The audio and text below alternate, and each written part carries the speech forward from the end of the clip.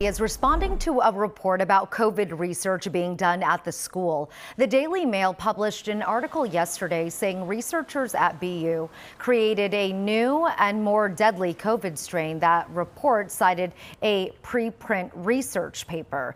Boston University says that reporting is, quote, false and inaccurate.